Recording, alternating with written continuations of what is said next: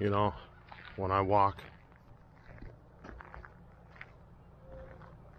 through all of these tombstones, I wonder how many of these people, after living their life, would do anything to get a second chance at making their life count. And I bet you anything. It's funny when you're younger, you know, you worry about what people think of you. And you worry about the clothing that you wear. And you want to be liked by your friends. And then as you get older, you realize what is important. And you realize that, you know, like the other day, I was thinking, you know, man, $4 for a Starbucks coffee.